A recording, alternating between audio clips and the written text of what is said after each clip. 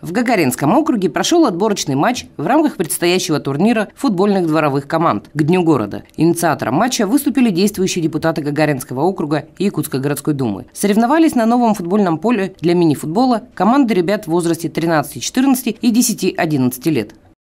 Самое главное, э, что погода нам не помешала. Самое главное, что у ребят есть желание играть. Несмотря на ливень, который был с утра, они пришли, они настроены играть, они вот просто, знаете, поражает их э, такой настрой, самоорганизованность даже, больше, чем у взрослых получается. Вот. Все понимаем, что спорт – это и воспитывает и силу воли, и самодисциплинированность. И что эти ребята организованные, они у нас не сидят ни в подворотнях, не сидят, э, скрючившись у компьютера, это наше будущее. Вот эти ребята, вот здесь вот стоят у нас Кирилл, да, который в позапрошлом году они у нас э, в дворовых командах выиграли первое место. И, Кирилл, в Якутске или в республике? В республике. Представляете, наши гагаринские ребята, дворовая команда, и они поехали, первое место заняли в Севастополь, отдыхать ездили. И часть из этих ребят уже занимаются профессиональным футболом. То есть они ходят и в ДЮСШ, Дахсун. Ну, это здорово. Главное, что ребята все организовались.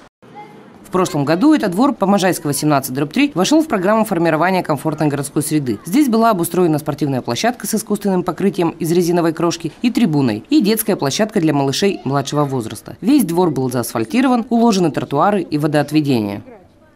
Есть возможность здесь проводить различные соревнования различного уровня.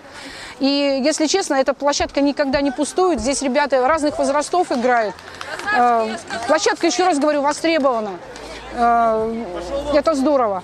У нас продолжается. В этом году у нас э, по комфортной городской среде отремонтирован двор по Можайского 19.3-19.4. Сейчас э, там устанавливают наружное облюдение, наружное освещение. То есть асфальтирование, водоотведение, все сделано. Осталось обустроить площадку. Но я думаю, мы и там сорганизуемся, тоже будем сделать, тоже проводить там и спортивные турниры. Может быть, мы сделаем площадку другого там, по другой вид спорта, волейбол, там, баскетбол чтобы у нас все виды спорта были под открытым воздухом организованы, чтобы ребятам было где играть.